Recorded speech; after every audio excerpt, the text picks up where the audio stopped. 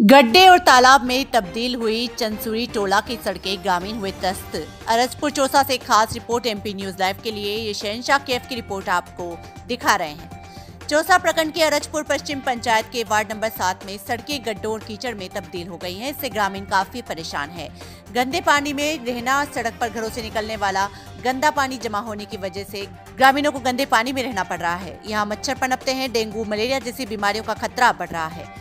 मनोहरपुर से बडगामा zero mile को जोड़ने वाली सड़क पूरी तरह से खराब हो चुकी है। स्कूली बच्चे व ग्रामीण पानी और कीचड़ में घुसकर निकलने को मजबूर हैं। ग्रामीण धर्मराज कुमार, बंटी शर्मा, पुष्पेश कुमार, बेचन मंडल, सुकेश सुमन, ज्योतिष कुमार, मन्नू मंडल, राहुल कुमार, कुलदीप मंडल, विद्यानंद मंडल, सदानंद मंडल, मनोज चित्रंजन मंडल व कृष्ण कुमार का कहना है कि कई बार स्कूल की वैन बीस दलदल भरी सड़क में फंस चुकी है। ग्रामीणों की सहायता से उसे बाहर निकाला गया। सड़क की डामर व छोटी गिट्टी पूरी तरह से खत्म हो चुकी है। सड़क में वाहनों की टायरों वाली जगह पर गहरी लीकें बन गई हैं। इनमें पैदल साइकिल या मोटरसाइकिल से चलना काफ़ी मुश्किल हो गया है।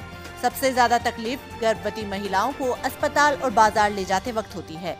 सड़क की मरम्मत को लेकर ग्रामीणों ने कई बार स्थानीय नेताओं, जनप्रतिनिधियों से मांग की है, पर अभी तक किसी भी प्रकार के संबंधित कर्मचारी या अभी अधिकारी ने या अधिकारी ने सड़क की सुध नहीं ली।